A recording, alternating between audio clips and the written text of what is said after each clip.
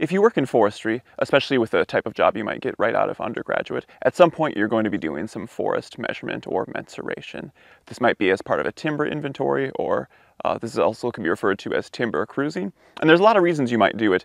Uh, in some cases, it might be just to take an inventory of a forest stand to get an idea about what the volume is, what the basal area is, what the condition of the stand is. It might also be something that's done before a thinning or before a timber sale to get a good inventory of the trees. Or if you're doing scientific research or have ecologic, ecological objectives, it might also be important to have an idea about the standing timber.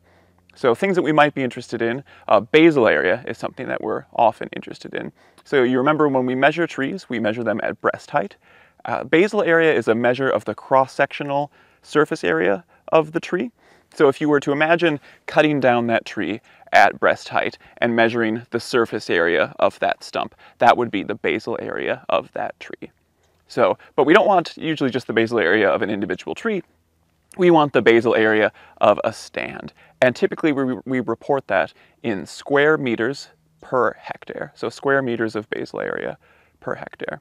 So that's one thing that we're interested in. And uh, along with these other, all sorts of measurements, we often want to have these measured by species. So knowing the total basal area of a stand is really important, but also knowing what proportion of that basal area is Douglas fir versus western hemlock versus western red cedar or western white pine. That's important as well. So basal area is something that's really important. And another key uh, factor that we want to measure, or another key uh, statistic that we want to measure is volume. There are a number of ways to calculate the volume of a tree uh, relatively precisely. For our purposes though, we're going to use more of an estimate approach. If you take that tree trunk and you imagine that it's a cone, then we can take the basal area of that tree, so the cross-sectional area of that tree trunk, multiply that by the height of the tree, and then divide by one third. And that will give us a volume for that tree, or a volume estimate for that tree in cubic meters.